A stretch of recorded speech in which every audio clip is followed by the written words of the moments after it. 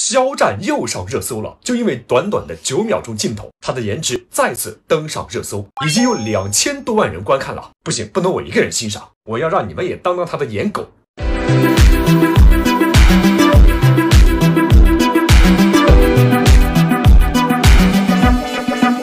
红色西装大背头造型，我特别喜欢看他的长发。我不知道你们是喜欢短发还是长发。他只要一出现长发，我就觉得他这个人的颜值啊是可甜可咸，可攻可守，可进可退。但好像他自己更喜欢短发。其实我个人比较喜欢短发。哎，我觉得肖战所谓理解的短发不是这种啊，我觉得他说的应该是这种中短发。